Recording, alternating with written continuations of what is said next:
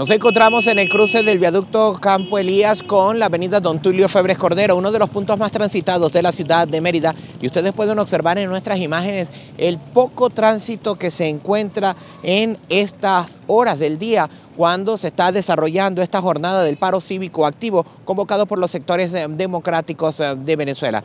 Ustedes pueden observar las imágenes que muestran prácticamente vacío el viaducto Campo Elías y la avenida Don Tulio Febres Cordero. Solo muy pocos vehículos se encuentran en las calles de la ciudad en, en esta hora del día 20 de julio hay saliendo muy poca gente, vean cómo el comercio está cerrado.